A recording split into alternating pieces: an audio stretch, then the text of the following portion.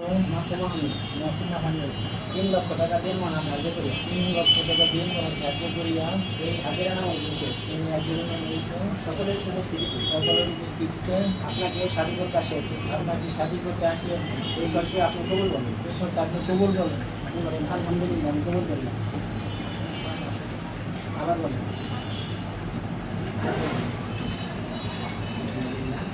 এখন সিলেট বিদ্যুৎ কেন্দ্র উপাদানী নিবাসী উপাদানী নিবাসী মোহাম্মদ মোস্তালেব হোসেনের কন্যা। মোহাম্মদ মোতালেব হোসেনের কন্যা। লাভলি আক্তার। লাগলি আক্তার। তিন লক্ষ টাকা দেন মহানা ধার্যে।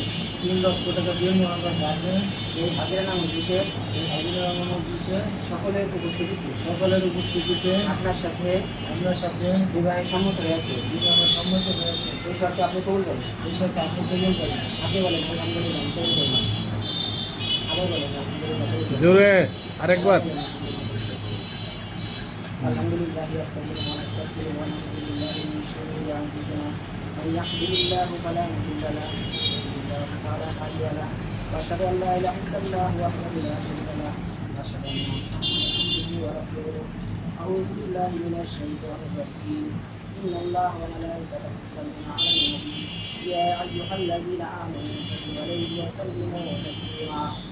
আল্লাহ